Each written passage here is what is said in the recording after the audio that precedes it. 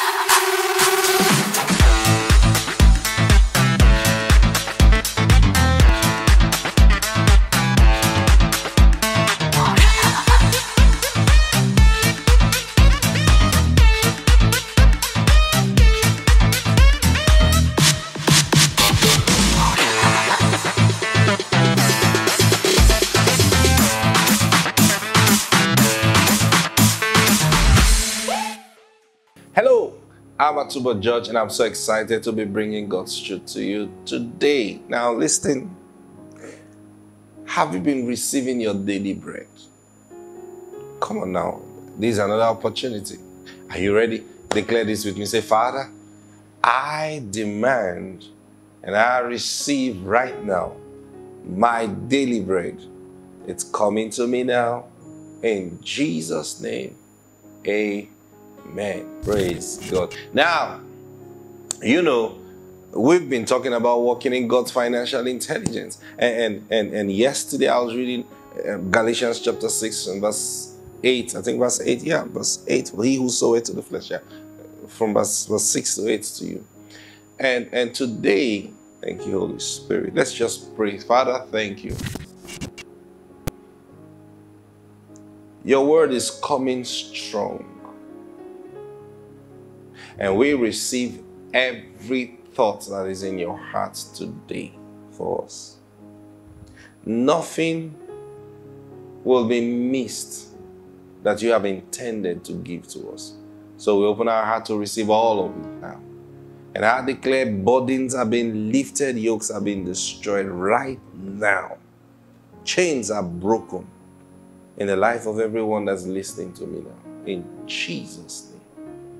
Amen. Praise God. So then he says, I was talking to you yesterday about sowing in the flesh or sowing to the spirit. Now, when you give, according to what it says in Galatians chapter 6 and verse 8, it says, For he who soweth to his flesh shall of his flesh reap corruption, but he who soweth to the spirit shall of the spirit reap life everlasting. When we begin to obey God where giving is concerned, and like I said, the tithe, because first and foremost, that one is not a free will giving, it's a debt that you owe. Every blessing you receive, God has a part in it. He said that's why you can be arrested in a society for not paying tax. And, and isn't it amazing? You do the you do a job for the government and, and the government pays you, yet the government will still command you to pay tax. And if you don't pay that tax, you can be arrested for tax fraud. You see that? Where do you think they got that from? Anyway, so that's how it is with God.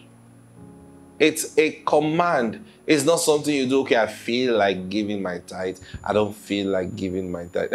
no, it's a command. Let that sink in your mind. It's a command. And you can get judged for not giving your tithe. You can get judged for not giving your tithe. Yes. And say, no, we're all under grace. We're all under grace. Brothers and sisters, grace operates by God's word. Grace doesn't nullify God's principles. Grace operates so you can be in Christ and still be broke. Yes. Because I'll tell you this. I'll tell you this. The golden rule, you know, that Jesus said, do unto others as you want them to do unto you. Okay, so now you say you're not going to give your tithe again for whatever reason. I'm angry, I'm not giving my tithe again. I will eat it. Okay, so if everybody now begin to treat you the same way you are treating others, because by you withholding your tithe, you are preventing others from receiving the blessing of God. So if everyone starts doing that where you are concerned, who's going to lose? You too. So, so when we tithe, we are not just obeying God. So we don't tithe out of fear. We tithe because we are walking in partnership with God to bring to pass His word and His covenant with Abraham by blessing every family of the earth. Now, I just want you to think about this. If every believer everywhere begins to function like this and, and practice this truth, and, and then ah, oh, I just see glory. I'm telling you, there's so much glorious. And you know what he says? Be ready to avenge all disobedience when your obedience is complete. Thank you, Jesus. And you know, when we do this, guess what? You know, you, just imagine everywhere. You know, someone just saying, wow, I just received some money from someone. And he said God commanded him to send it to me. I just got money from someone. I just got blessed. Oh, wow. Someone just called me and said God said he should pay my children's school fees. Whoa. Someone just called me and gave me money. And guess what? The money was just my house rent. Do you think, do you think people will be needing encouragement? Do you think people will be needing follow up and say, oh, uh, you, we've not been seeing you in church. Oh, wait, you, you, you are backsliding. Do you think all those things will be happening? Because the joy of salvation, the joy, the joy of salvation will be everywhere. This is not wishful thinking. I'm telling you the mind of God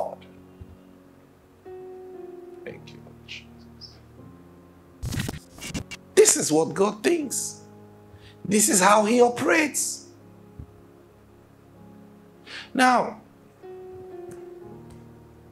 when you begin to understand this, all I've been sharing with you, remember I started by telling you about giving of offerings. And then I told you how giving of offering have to be by the Spirit of God. And you have to give it consciously. And then now we'll talk, we've been talking about tithing. I'm telling you why it's so important that you tithe. And not only tithe, that you tithe right. Now, when you begin to do and practice these things and practice them well, you have already sealed something in your life. And what is that? God's continuous flow. You have connected yourself to the environment where you, you, you the flow will surely get to you.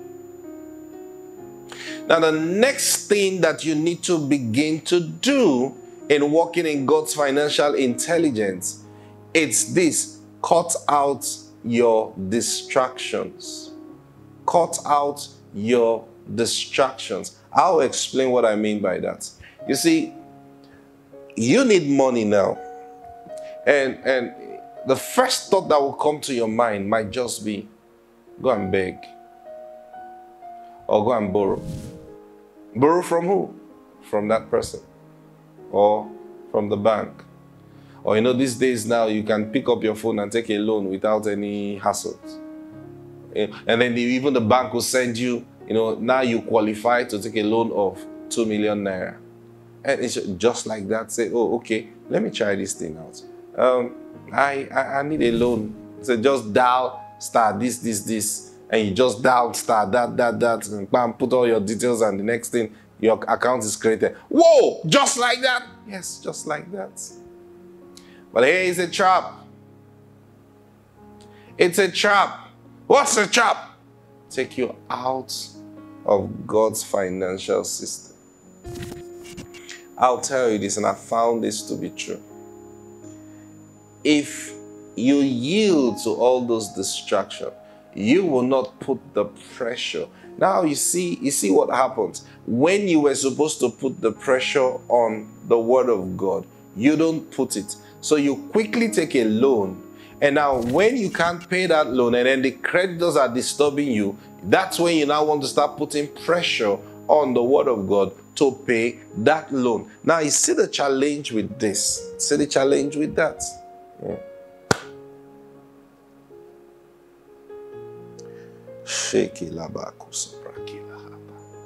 There's so much in my spirit I want to share with you. You see, the Lord taught me this many years ago. And He said to me, He said, Son,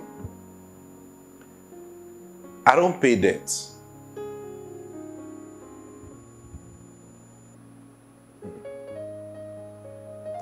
And I was like, How? You know what the Lord taught me then? Ah, it, it's sweet to know the Lord. It's just sweet. I don't know how else to ex- describe. It's just sweet. So, and then the Lord said to me, He said, Look, asking me, is it going to take a loan? And then asking me to say, Lord, help me pay this loan is useless because I don't do that. I already commanded you not to borrow. Moses told the children of Israel, when you walk in the light of God, you will not borrow. You will lend. You will lend. You will not borrow. And in Romans, he told us, owe no man anything but love. So you see, when you get involved in borrowing, you have taken yourself out of God's system. And then you now run, run to God with the baggage of the loan and say, Lord, they want to arrest me. Please help me. They want to take off my property. Please help me. And what do you want the Lord to do? Where is the word with which the Lord will operate in to pay that loan for you? And so, when the Lord shared this with me, I began to pray and said, Okay, Lord, so is it that there's, a, there's an area where you sincerely cannot operate? What about mercy? And the Lord said, That's the reason I'm sharing what I'm sharing with you. So when a child of God finds himself in a situation of a loan or, or debt, what does he do? The first thing to do is repent. Father, I'm so sorry I've gotten myself in an environment I shouldn't have gotten myself involved. I've disobeyed your word and I've taken this loan. I've borrowed. Lord, please forgive me. I'm sorry. Then take an amount, take money, and say, Lord, I'm determined to come out of this debt. And it shall not be by might or by power, but by your spirit.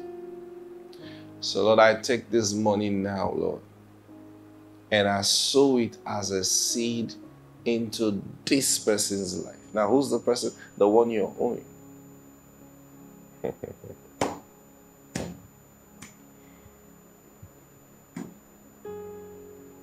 And then you say, Lord,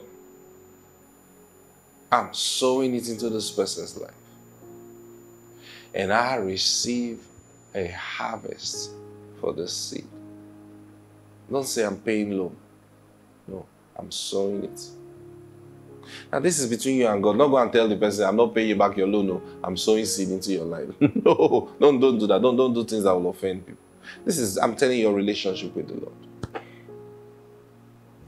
And the Lord hears. And He knows now that you have come in the, under the environment of His word. Give, and it shall be given unto you. Now, but what works this now is repentance. First, repentance. And guess what? With that, now the Lord can open the windows for you and He begins to bless you.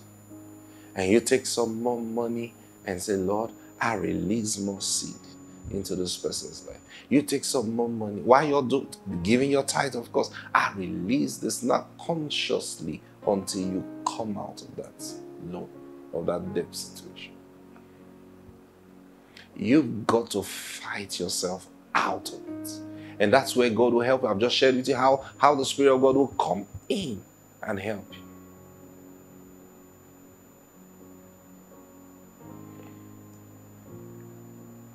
I remember sharing this with a dear, dear sister of mine. You know, she, she was in debt. I just shared this, and she said, "Ah, Pastor, this thing we're talking about, I'm actually owing someone, and I just got some money now. I'm thinking it, it won't pay that loan, but but I'm thinking. I say, yes, this is what you should do. Take a seat and pay. And this taught her what to do. And she did that and, and paid that money, you know, not all of it, just part of it. And guess what? A few weeks down the line, someone calls and says, I want to invest in your business. And that person invested in her business and it shot her business to another dimension. Praise God. Yeah, I'm telling you. Got her into some good level of prosperity. These things work. Remember what I'm sharing with you? Walking in God's financial intelligence. How to get yourself out of trouble without troubling anybody. I mean, getting yourself out of trouble without troubling anybody. Praise God. Thank you, Lord Jesus. Our time is up today. I'll see you tomorrow. Bye.